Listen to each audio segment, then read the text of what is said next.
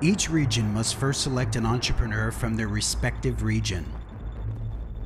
Then their second pick could be from any alternative region, which is where the negotiations will begin. None of this is scripted, really. We're all just winging it as we go along. We've got a rough idea what we're meant to be doing, but it's created some really interesting situations that we weren't expecting. It's been fascinating to watch.